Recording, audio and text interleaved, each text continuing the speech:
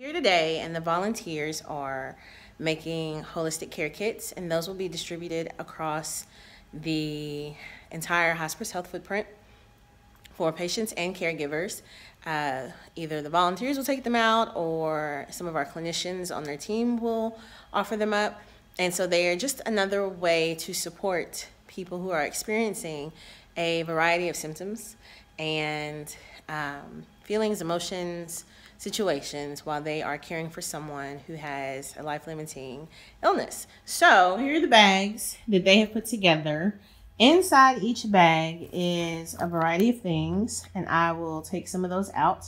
There are stress balls, um, a small coloring book, a deck of cards, and an ice pack. You can use that for pain or for headaches. I actually have one at home. It's really good for that. And there is a life legacy book. It says celebrate life. And so you can sit down and talk about your memories and things that you want to be shared with people after you're gone.